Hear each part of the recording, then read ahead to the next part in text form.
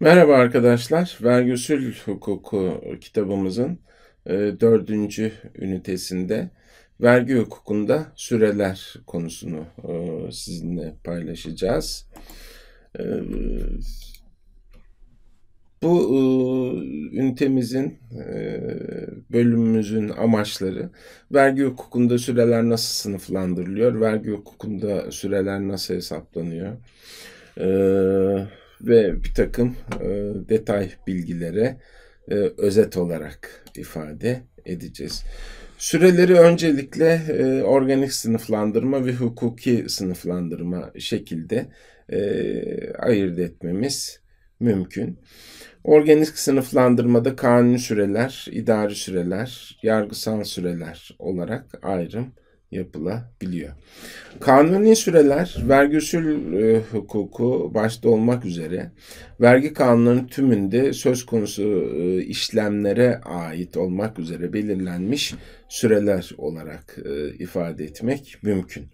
Beyanname verme süresi, işe başlama, işe bırakma süreleri gibi ödeme süreleri e, kanunda belirtilmiş Süre sadece belli bir vergi ilgilendiriyor ise o süre ilgili vergi kanununda ifade edilmiş. Örneğin gelir vergisini sadece gelir vergisini ilgilendiriyor ise gelir vergisi kanununda düzenlenmiş. Ancak bütün vergileri e, ilgilendirmesi isteniyorsa işte vergi usul kanunu gibi genel kanunlarda bunlar e, düzenlenmiş. Bazı hallerde vergi kanunlarında süreler e, gösterilmemiş ya da açıkça yazılmamış olabiliyor. Vergi kanunlarında açıkça yazılı e, olmayan durumlarda 15 günden aşağı olmamak üzere ve ilgiliye tebliğ edilmek kaydıyla belirlenen sürelere idari süreler diyoruz. İdarenin en az 15 gün. Burada tabii kanunda herhangi bir süre olmaması kaydıyla ama bir de süre verilmesi gerekiyorsa ama bunun ne kadar olduğu belli değilse idarenin en az 15 günlük bir süre vermesi e, gerekecek ki bu sürelere idari süreler denmiş. Vergi usul kanun 14. maddesinde düzenlenmiş. Bu sürenin özelliği idare tarafından belirlenmesi, kanunda açıkça belirtilmemiş hallerde verilmesi, mükellefe tebliğ edilmesi ve 15 günden aşağı olmaması olarak ifade etmemiz mümkün. Yargısal sürelerde ise e, vergi uyuşmazlıkları yargı organlarınca çözümü aşamasında ve gerekli hallerde yargı organlarının belli işlemlerin yapılmasını sağlamak üzere ilgililere tebliğ edilmek kaydıyla belirlenen süreler kastediliyor. Tabi yargı tarafından, yargı organları tarafından e, belirlenmiş süreler e, bu süreler. Yargısal süreler vergi yargısı organlarının verdikleri sürelerdir. Vergi yargısı organları dediğimiz nedir? Vergi mahkemeleri, işte bölge idare mahkemeleri, Danıştay gibi e, vergi yargısıyla ilgilenen mahkemelerin vermiş olduğu süreler olarak ifade edebiliriz. Süreleri hukuki olarak sınıflandırmaya çalıştığımızda hak düşürücü süreler, müsamaha süreleri, zaman aşımı süreleri, vergi ödeviyle ilgili süreler ve düzenleyici süreler karşımıza çıkıyor. Hak düşürücü süreler belirli bir e, hakkın kullanımının imkansız hale geldiği sürelerdir. Bu süreler vergi mükelleflerinin sorumlulukla, sorumlularının ve idarenin çeşitli talepleri için e, konulmuş ve bu sürelere uyulmadığında da haktan e, yararlanılamayacağını söylememiz mümkün. Hak düşürücü süreler hakkında belirlenen zamanda işlemeye başlar e, ve yine kanunda belirlenen zamanda sona erer. Bu süreler kamu düzenini ilgilendirdiğinden yargı organları, makamları tarafından da reysen dikkate alınmaktadır. Müsamaha süreleri dediğimiz nedir? Bu süreler vergi kanunlarında belirlenen süreler içinde yükümlülüklerini yerine getirmeyen ancak sonradan pişmanlık duyan iyi niyetli mükelleflere yönelik olarak kabul edilmiş sürelerdir.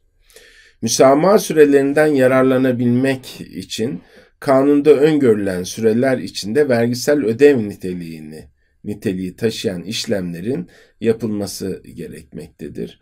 Bu sürelere örnek olarak pişmanlık ile cezalarda indirim yoluna e, başvurma sürelerini göstermemiz mümkün. Zaman aşımı süreleri, e, zaman aşımını e, yine üçe ayırarak incelememiz lazım. Tahakkuk zaman aşımı, tahsil zaman aşımı ve düzeltme zaman aşımı. Buna dikkat ederseniz e, burada tahakkuk zaman aşımı demiştik. Daha önceki anlatımlarımızda tarz zaman aşımı demiştik. Bunlar hep aynı anlama geliyor. Tarz zaman aşımı ve tahakkuk zaman aşımı aynı e, hukuki durumu ifade eden zaman aşımıdır. Peki zaman aşımı süreleri e, bunların geçmesiyle, sürelerin geçmesiyle vergi idaresinin ya da yükümlüsünün, vergi yükümlüsünün çeşitli haklardan yoksun kalmasını sağlayan hak düşürücü sürelere benzeyen sürelerdir. Zaman aşımı sürelerinin geçirilmesi vergi alacağının esasını etkilemez. Zaman aşımı süresinin geçmesiyle hak tamamen ortadan kalkmaz. Fakat hakkın cebren kullanımı veya dava konusu yapılabilmesi imkanından yararlanılamamaktadır. E, tahakkuk zaman aşımı vergi usul kanunun 113 ve 114. maddelerinde düzenlenmiş. Tahsil zaman aşımı amme alacakları tahsil usulü hakkında kanun 102 ve 103. maddelerinde düzenlenmiş. Düzeltme zaman aşımı vergi usul kanun 126. maddesinde düzenlenmiş. Üç tür e, zaman aşımından söz edebiliyoruz. Tahakkuk zaman aşımında vergi e, alacağın doğduğu takvim yılını takip eden yılın başından başlayarak 5 yıl içinde tahriye mükellefe tebliğ edilmeyen vergilerin zaman aşımına uğradığını ifade ediyoruz. Taşsız zaman aşımı ise kamu alacağı vadenin rastladığı takvim yılını takip eden yılın başından itibaren 5 yıl içinde tahsil edilmezse zaman aşımına e, uğruyor. Düzeltme zaman aşımı ise e, bu 114. maddede e, zaman aşımı süresi dolduktan sonra meydana çıkarılan e, vergi hataları bu düzeltme zaman aşımı geçtikten sonra düzeltilemiyor. Ee, mükellef ve vergi e, sorumluların ödevleri ile ilgili süreler vergi usul kanunu ve diğer kanunlarda düzenlenmiş. Bu sürelerde kanunla idarece ve e, yargı organlarınca belirtilen sürelerde ödevlerin yapılması gerekiyor. E, işe başlama ve işe bırakma buna örnek olarak gösterilebilir. E, işe bırakanların bu eylemini vergi dairesine bir ay içerisinde bildirme zorunlulukları vardır. E, beyanname verilmesi, defter ve belgelerin saklanması e, gibi ödevlere ilişkin sürelere e, örnek olarak e, vergi ödevi ile ilgili e, süreleri örnek olarak gösterebiliriz. Bir takvim yılına ilişkin beyanname ertesi takvim yılının Mart ayı içerisinde vergi dairesine e, verileceği yine vergi ödeviyle ilgili e, süreler e, içerisinde e, değerlendirmemiz mümkün. Düzenleyici süreler işte bu bahsettiğimiz sürelere girmeyen bu gruptaki süreler idare ve yargı organlarının görevleriyle ilgili e, bazı işlemlerini belirli süre içinde yapabilmeleri amacıyla getirilmiş. Bunlara düzenleyici süreler diyoruz. bu sürelerin önemli bir özelliği yaptırımı yoktur. Bu sürelere uyulmadığında ne olacağı kanunda e, düzenlenmemiş. Bu sürelere uyulmaması esası ilişkin bir şekil noksanlığı da sayılmıyor. Amacı kamu görevlilerinin görevlerini daha dikkat ve özenle yapabilmelerini e, sağlamak.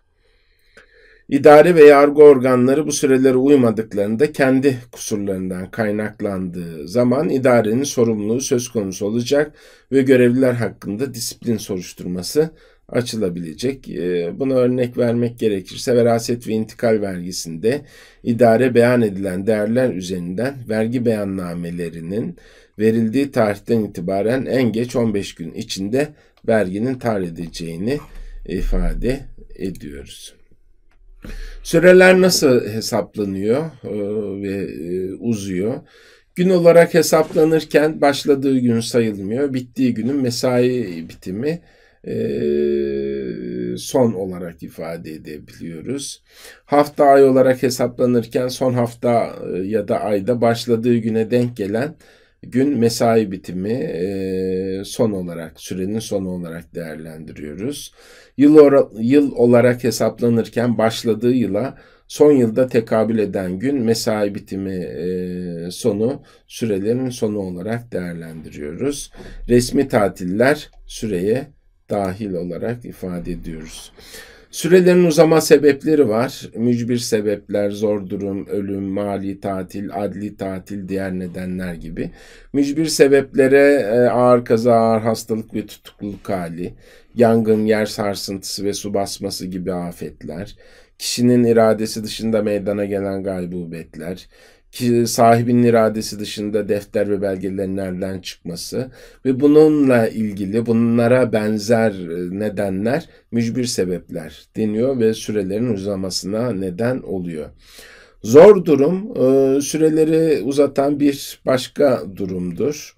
E, vergisel ödevlerin zamanında yerine getirilmesine engel olacak derecede ve kanunda sayılması mümkün olmayan durumlar bakımından kanuni sürenin bir katını, kanuni sürenin bir aydan az olması halinde bir ayı geçmemek üzere e, bakanlıkça bir uygun bir süre veriliyor.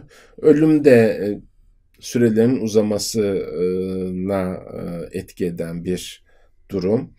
Ölüm halinde vergi ilişkin ödevleri yerine getirme sorumluluğu mirası reddetmemiş kanuni ve mansup mirasçılara geçiyor. Vergi kanunlarında hüküm bulunmayan hallerde ölüm dolayısıyla mirasçılara geçen ödevlerin yerine getirilmesinde bildirme ve beyanname verme sürelerine 3 ay ekleniyor. Mali tatil e, her yıl Temmuz ayının birinden 20'sine kadar mali tatil uygulanıyor ve bu da sürelerin uzamasına neden oluyor. Aynı şekilde adli tatilde her yıl 20 Temmuz ile 31 Ağustos arasında uygulanıyor. Bunlar da sürelerin uzamasına neden olabiliyor. Diğer nedenler olarak sınıfladığımız şeyler içerisine işte defter ve belgelerin muhafaza altına alınması halinde muhafaza altına alındığı tarih ile beyannamenin verileceği tarih arasında bir aydan az bir süre var ise e, beyanname verme süresi bir ay daha uzuyor. Bunu e, tasnif ederken diğer nedenler içerisinde ele almışız. Ee, bir başka örnek olarak mükellef tarih sonrası uzlaşma başvurusu yapmış ancak uzlaşma sağlanamamış ve dava açma süresi de 15 günden az kalmışsa dava açma süresi uzlaşma tutanağın tebliğ tarihinden itibaren 15 gün uzuyor. Mücbir sebeplerle zor durumu karşılaştıracak olursak e, vergi usul kanunun 13, e, 13. maddesinde mücbir sebep örneklerle sayılmış tarz zaman aşımının sürelerini durduruyor, vergi ödevlerinin yerine getirilmesini engelliyor, ceza kesilmiyor, gecikme zammını engelleyen bir neden değil fakat yazı ile istemde bulunmaya gerek yok. Süre kendiliğinden uzuyor. Kanuni veya idari süreler dur duruyor. Duran süre sebebi ortadan kalkmasıyla yeniden işlemeye başlıyor. Süre sınırlaması yok. Karşılıklı olarak baktığımızda zor durumda ise Kanunda örnek gösterilmemiş. E, süreleri e, mücbir sebep durdururken zor durum süre uzatıyor. Ek süre veriliyor. Ödevlerin süresi içinde yerine getirilmesini engelliyor ya da güçleştiriyor. E, ceza kesilir mi, gecikme zammını engelleyen bir neden midir? Bununla alakalı bir düzenleme söz konusu değil zor durumla alakalı. Ee, zor durum için yazı ile talepte bulunuyor. Mücbir sebepte buna gerek yoktu. Ee, zor durumda kanun süreler uzuyor, idari süreler uzamıyor idi. Ee, mücbir sebepte kanun ve idari süreler duruyor idi. mücbir sebeple herhangi bir süre, süre sınırlaması yoktu. Zor durumda bir süre sınırlamasıyla karşı karşıya kalabiliyoruz. Evet arkadaşlar, e, ünite 4'ün kısa anlatımı bu şekildeydi. E, bu üniteyle alakalı detaylı bilgilere yine sistemden ulaşmanız önemli. Kitaptaki detaylı bilgilere e, de bakmanızda yarar var. Çalışmalarınızda kolaylıklar dilerim.